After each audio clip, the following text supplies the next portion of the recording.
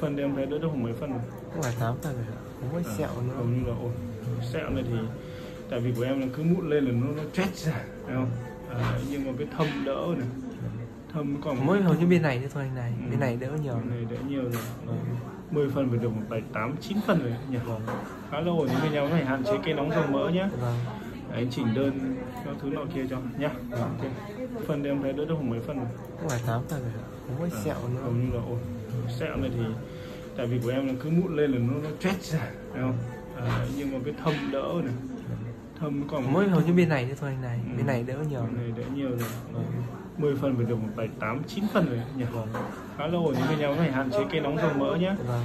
Đấy, chỉnh đơn các thứ nọ kia cho. Nhá. Ok